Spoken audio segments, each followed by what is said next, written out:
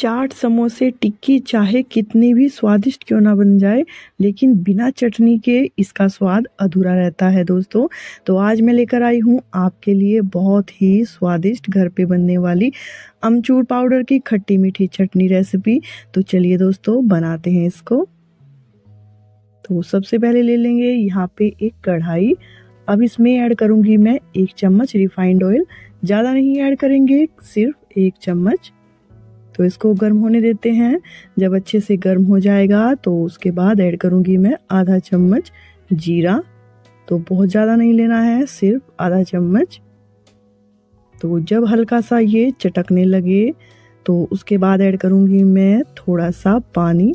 तो पानी लेना है हमको सिर्फ़ एक ग्लास, करीब 300 सौ अब इसको अच्छे से हम पका लेंगे। जब पानी हमारा गर्म हो जाए तो उसके बाद ऐड करूँगी मैं यहाँ पे अमचूर पाउडर। एक कप से थोड़ा कम है ये वन थर्ड कप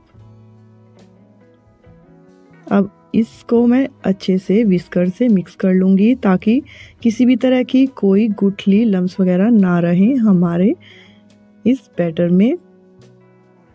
तो बहुत ही बढ़िया से मिक्स कर लेंगे। अच्छे से बॉईल आने देते हैं।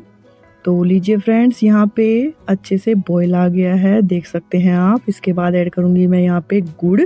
तो 300 ग्राम ले लिया है मैंने यहाँ पे गुड़, क्योंकि हम खट्टी मीठी चटनी बना रहे हैं। इसको मिक्स कर लेंगे। मीडियम टू हाई फ्लेम पे हमको पकाना है, जब तक कि गुड़ अच्छे से पानी में मेल्ट ना हो जाए। इसको थोड़ा चलाते रहेंगे ऐसे। गुड़ बहुत ही जल्दी से मेल्ट हो जाता है पानी में। तो चलिए फ्रेंड्स हमारा यहाँ पे गुड़ मेल्ट हो गया है। अब ये बढ़िया से पक भी गया है, देख सकते हैं। तो थोड़ी ये गाढ़ी होने लगी है। तो अब इसके बाद ऐड करूँगी मैं कुछ मसाले। तो चलिए, अब डाल देती हूँ मैं यहाँ पे आधा चम्मच काला नमक। आधा चम्मच से थोड़ा कम सफ़ेद नमक। अब इसके बाद ऐड करूँगी मैं आधा चम्मच काली मिर्च पाउडर। एक चम्मच ले लिया है यहाँ पे सौंफ पाउडर और मैंने थोड़ी सी ले ली है यहाँ पे लाल मिर्च, एक चम्मच गरम मसाला और इन सभी को बहुत ही अच्छे से मिक्स कर लेंगे। लाल मिर्च का मैंने यहाँ पे कम इस्तेमाल किया है क्योंकि हमने पहले इसमें काली मिर्च डाली है तो बहुत ज़्यादा स्पाइसी नहीं बना रहे हैं।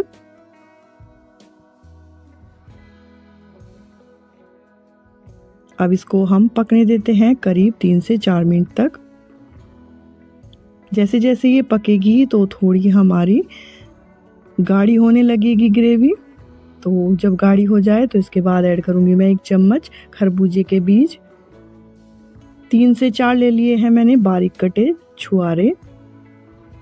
यहाँ पे ले ली है मैंने तीन से चार काजू। इसके बाद हम इन सभी को मिला लेंगे और थोड़ा सा इसको मैं और पकाऊँगी। बहुत ज़्यादा गाढ़ी नहीं करेंगे क्योंकि ठंडा होने के बाद ये काफ़ी ठीक होने लगेगी। तो एकदम मीडियम कंसिस्टेंसी में हम इसको पकाएँगे। तो सिर्फ़ दो मिनट तक और पका लेंगे। तो लीजिए फ्रेंड्स दो मिनट हो गई हैं और देख सकते हैं आप, ये हमारी अमचूर की खट्टी मीठी चटनी बन के रेडी है। तो ये बहुत ज़्यादा गाढ़ी भी नहीं है, बहुत ज़्यादा पतली भी नहीं है तो एकदम परफेक्ट है। अब गैस की फ्लेम को कर देंगे बंद और इसको ठंडा होने के बाद आप चाहें तो चाट, पकौड़ी, समोसे, टिक्की, पापड़ी, किसी के भी साथ इसको सर्व कर सकते हैं। तो चलिए मैं इसको निकाल लेती हूँ। आप चाहें तो इसको किसी कंटेनर में डाल के फ्रिज में स्टोर करके एक महीने तक भी रख सकते हैं तो ये आपकी खट्टी मीठी चटनी बिल्कुल भी ख़राब नहीं होगी, एकदम हलवाई के स्टाइल में बनाई है तो बहुत ही टेस्टी, मज़ेदार बन के तैयार है।